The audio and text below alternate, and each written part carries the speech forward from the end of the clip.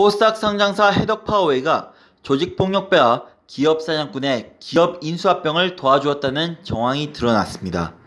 소비자경제신문 취재에 따르면 서울중앙지검 반부패 수사 2부는 지난 2일 기업 사냥꾼 고모 씨를 횡령 혐의로 조사를 진행하고 있는 것으로 알려졌습니다.